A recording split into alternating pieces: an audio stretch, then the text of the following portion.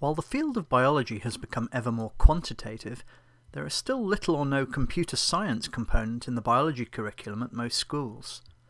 Biologists today find themselves working with ever greater quantities of data, and processing and understanding all of this data requires them to move beyond calculators and spreadsheets.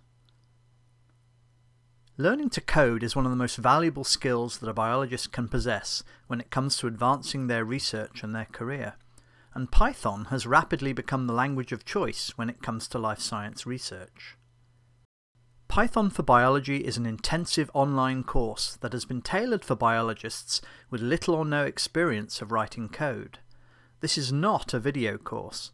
Its five weekly three hour sessions are taught live by instructors who are themselves biologists with decades of experience using Python in life science projects for clients ranging from new startups to large government organizations.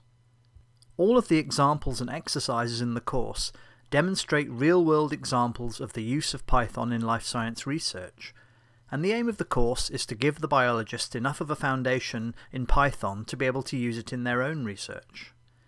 The course is taught entirely online, and all of the Python coding is done in the web browser. All the student needs for this course is a computer with a good internet connection.